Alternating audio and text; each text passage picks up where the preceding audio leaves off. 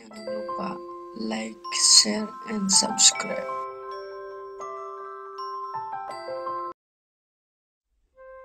Nama kecil saya adalah Raden Hasan. Saya putra dari Sultan Muhammad Badaruddin bin Susunan Ahmad Najamuddin dan Ratu Agung Putri Datuk Murni bin Abdullah Al-Hadi. Saya dinobatkan pada hari Selasa 22 Zulhijjah 1218 atau 1803 Masehi sebagai Raja Palembang yang ketujuh dan bergelar Sultan Mahmud Badaruddin II. Pada tanggal 14 September 1811 terjadi peristiwa loji Sungai Aur yaitu empat hari sebelum terjadi penyerahan di Tuntang. Saya telah mengakhiri pengaruh kekuasaan Belanda di bumi Palembang dari pengaruh kekuasaan asing.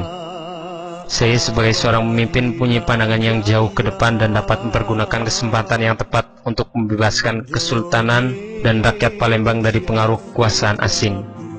Pada tanggal 18 September 1811, berdasarkan perjanjian Tuntang, Belanda menyerahkan Palembang ke Inggris. Ini merupakan awal dari upaya mengadakan perlawanan terhadap Angkatan Perang Inggris di kota Palembang.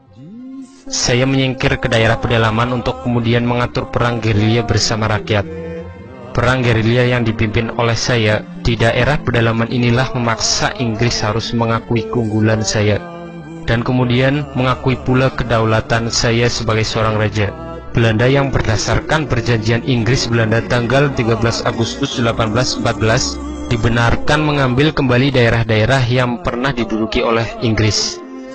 Pada tanggal 24 Juni 1821, saya beserta putra saya Pangeran Ratu ditawan dan pada tanggal 3 Juli 1821, saya kemudian diasingkan ke Ternate.